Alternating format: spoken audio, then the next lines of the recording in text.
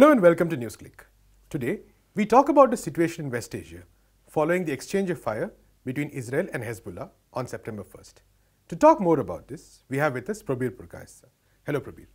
So, Prabir, as we know, the, yesterday there was an exchange of fire, and Hezbollah first fired on Israel, sent, sent anti-tank missiles, and Israel responded with mortar fire. And this, of course, follows an incident on August 25th when Israeli drones entered into Lebanese airspace. So how do you see the significance of this escalation, especially considering that this is probably the first time Hezbollah has responded since the 2006 war? Well, this is the first time we have had an open exchange of fire across the border. After 2006, we had a situation where across the Lebanese border, we haven't seen this kind of exchange. So, right. in that sense, it is a new element mm -hmm. in what's happening in the area. Right. And uh, as you have also said, that this follows the drone attacks in Beirut and also the attack in Syria, which right. seems to have uh, killed a few of the Hezbollah right. uh, people over there mm who are working on some kind of uh, right. workshop or on some support to mm the mm-hmm. Syrian Arab army. So, given all this, uh, we had also had the threat that Nasrallah had given Israel that having done this, mm -hmm. you're not going to sleep peacefully at night. And Israel had taken precautions, not having people go to the borders, uh, withdrawing some of the more visible, visible targets from right. the borders. So, there was an expectation there will be an exchange. Right. The ex exchange, it seems from the accounts of both sides, has not led to significant damage right. or to maybe uh, people getting killed or wounded. We don't know what actually happened because I don't think either side is to be relied upon for exactly. news in this case. But it does seem there was some material damage on mm -hmm. both sides. Mm -hmm. So Hezbollah has proved its point that it is going to retaliate right. if Israel does this kind of uh, action, particularly inside Lebanon. Right. As you can see, the Lebanese uh, people have also largely supported Hezbollah on this and uh, the president of Lebanon, right. Aoun, has also come out openly against uh, Israel saying this is an act of war. Right. So, in that sense Lebanon and Hezbollah have the international law on their side. Right. But as we know international law has really never deterred either Israel or the United States. So, that is a moot point. The question is that I think what is what we are beginning to see mm -hmm. is Israel's recognition that there is a shift of the strategic balance between Israel and Hezbollah, which was overwhelmingly in favor of Israel before the 2006 war. Right. After 2006 war and the fact that Israel did not cause, shall we say, significant military damage to Hezbollah, though it had destroyed uh, Lebanon's infrastructure, meant that there was at least a recognition that Hezbollah is not an easy foe. Right. But I think what is happening increasingly now is that this strategic balance which was established in 2006 is also becoming uh, more and more difficult for right. Israel right. because Israel's dominant over dominance over Lebanon mm -hmm.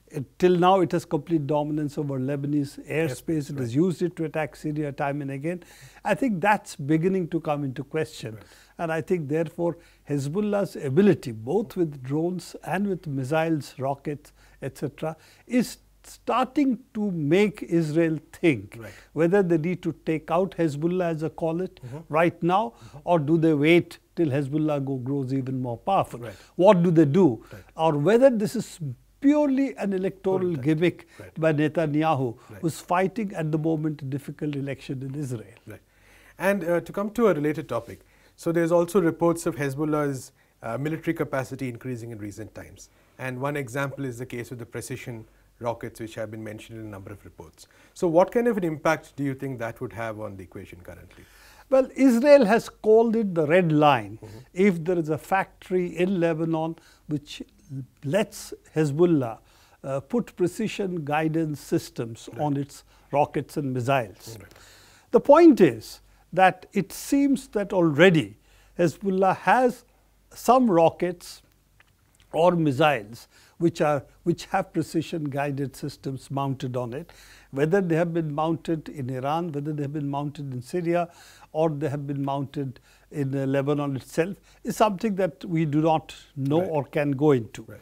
But it seems that, uh, by all accounts, uh, that uh, they the Hezbollah today has precision weapons also mm -hmm. in its arsenal. Mm -hmm. Apart, apart from the drones, right. we have seen in the Houthi, Houthis exactly. case in Yemen that drones have been used to target in a radius of about 15 to 1600 kilometers from Yemen, mm -hmm. and it has brought the whole of Saudi Arabia under its, uh, shall we say, range. right. Similar capabilities must also be expected for the Hezbollah, mm -hmm. probably more so mm -hmm. than less, right. because they are a battle hardened force, they have fought in Syria.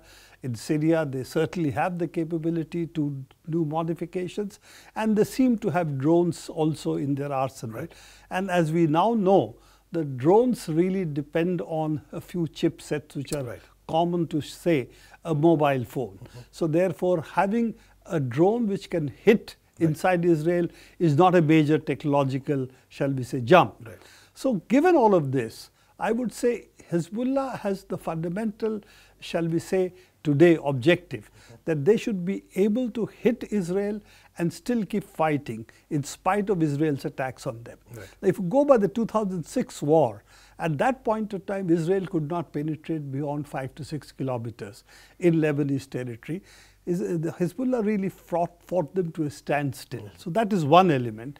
And throughout the 34 day war, they continuously send rockets 100, exactly. 150 rockets into Israel. Right. And they seem to have at that point of time an arsenal of 10,000 to 15,000 rockets. Today they not only have the Katyushas, which are the ones they used extensively earlier, but they have also a lot more. Yes. And if you take the total missile rocket string that they have, it would mean they have probably have something from 130 to 150,000 such missiles, right. apart from the drones we are talking about. Mm -hmm. So they have the ability to have a prolonged, shall we say, uh, attacks on a rocket barrage, missile right. barrage on Israel.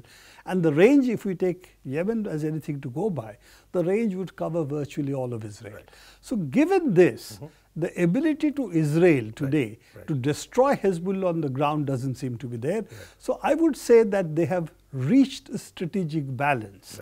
That yes, they are far more powerful Israeli forces are far more powerful than Hezbollah is. Mm -hmm. But nevertheless, its ability not to lose and keep fighting and send rockets, missiles, drones into Israel gives it a strategic balance. Right. And the last thing that we need to think of, there is a lot of talk about the Iron Dome system and the Arrow system and so on.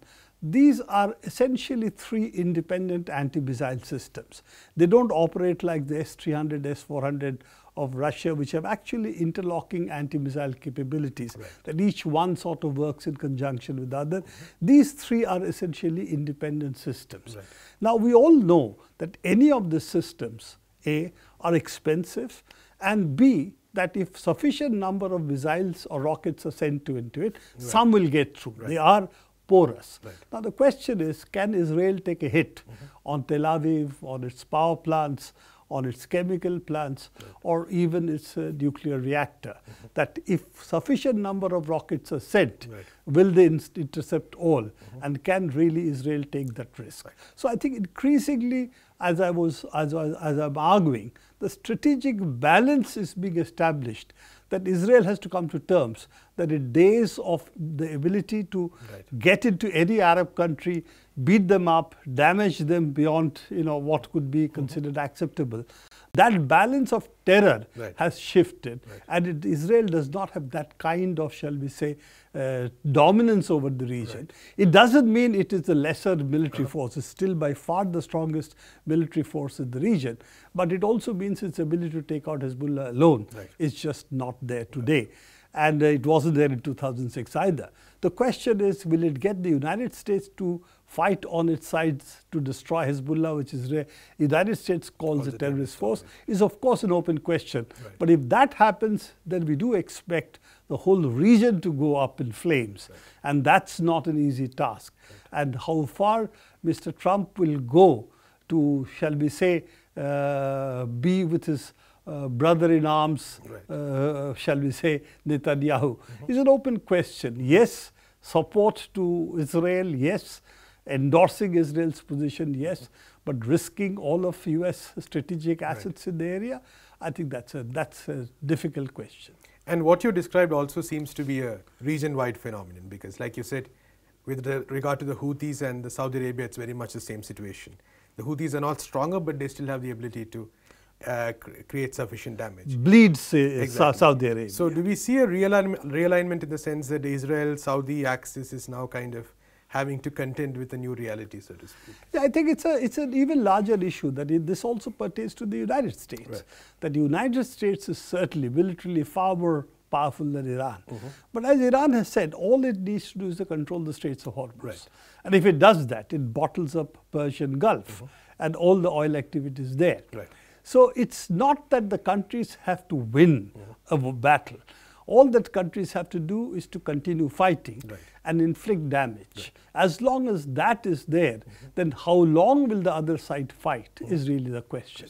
So, can you take damage and still stand up is really the question. And I think in that, I will say there is a shifting of the strategic calculus mm-hmm. that we see the drones, the ballistic missiles, Uh, the rockets, all these Right. things that we are talking about, evening up in some sense the strategic balance, Right. though it is not in any sense strategic parity. Parity, right. So it is not that they are able to, they're as strong as the United States or Israel, certainly not.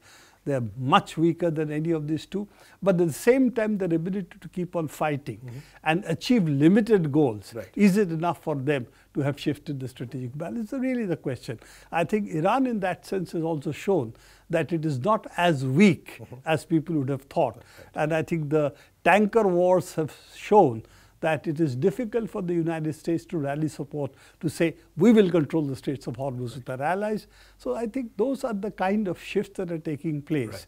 And I do think that the missile technologies and the uh, rocket technologies, the drone technologies, which were in any case favoring earlier uh, United States and Israel, I think that has started to work in a different way at the moment and cheap, uh, shall we say, guidance systems right. coupled with short range missiles, mm -hmm. I think are make a difference to the scenario. Right.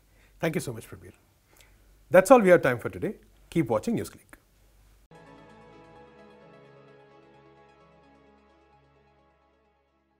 you